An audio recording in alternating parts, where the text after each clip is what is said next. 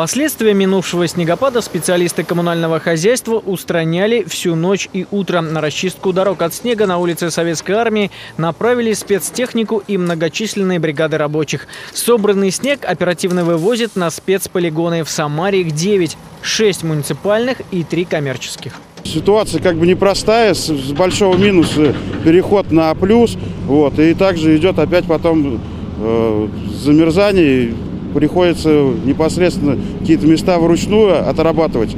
Дороги, которые были отремонтированы по нас проекту, э, мы непосредственно инструктируем дополнительно сотрудников о бережном э, обработке данной улицы, так как ее сделали буквально только вот в том году. В этом году погода преподносит сюрпризы. Только с улицы Советской Армии за зиму вывезли порядка 10 тысяч тонн снега. Кроме дорог, в порядок приводят тротуары, пешеходные переходы и остановки общественного транспорта.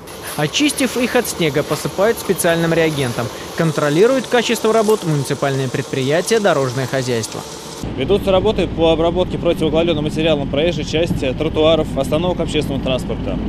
Также ведутся работы по расчистке и расширению проезжей части и тротуаров. Ведутся работы по раздвиганию снежных валов на остановках общественного транспорта, на пешеходных переходах. Ведутся работы по формированию снежных масс, последующим их вывозом на специализированные снежные полигоны. В результате своевременной обработки и расчистки проезжей части э, сотруднения с передвижением общественного транспорта по данной улице не было зафиксировано. Своевременную уборку дворов и улиц отмечают самарцы. На пятерку, конечно, не тянет, но на четыре пойдет. А так, я считаю, хорошо убирают. Пройти можно.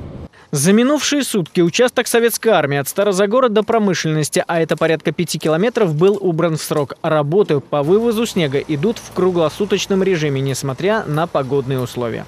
Сергей Кизоркин, Григорий Плешаков. События.